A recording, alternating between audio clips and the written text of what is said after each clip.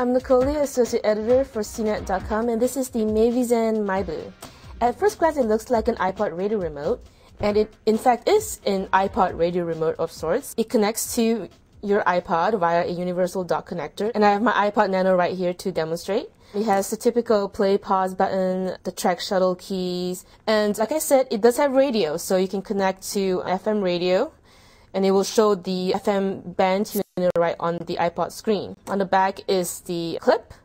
On top is the earphone jack. It doesn't come with its own earphones, so you have to supply your own. On the side here is the hole switch, and, and this is the MP3 slash FM button. What it does is that it switches between the radio and the songs on your on your iPod.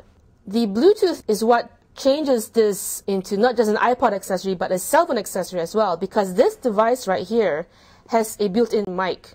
When connected to a cell phone like my Sidekick right here, it can actually become like a Bluetooth headset. And the wonderful thing about being attached to the iPod is that it shows caller ID on here. It shows up to nine recent calls on the screen as well. You can make calls from the control right here, so you can you know make last number redial right here.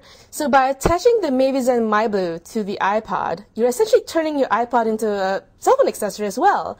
The only thing we didn't like was the number redial doesn't really work all too well. It insists on adding two zeros before the number, so it screws up the redial call. So the Mavizen MyBlu is not only an iPod accessory, but a cell phone accessory, and that in and of itself makes the 90 bucks really worth it. My name is Nicole and this has been the Mavizen MyBlu.